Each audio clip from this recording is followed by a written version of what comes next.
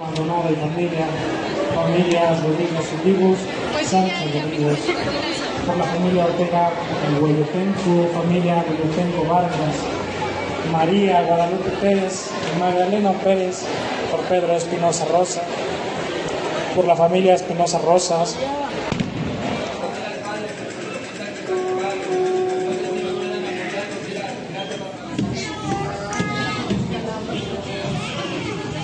nuestro deber y salvación darte gracias siempre y en todo lugar. Señor Padre Santo, Dios Todopoderoso y Eterno.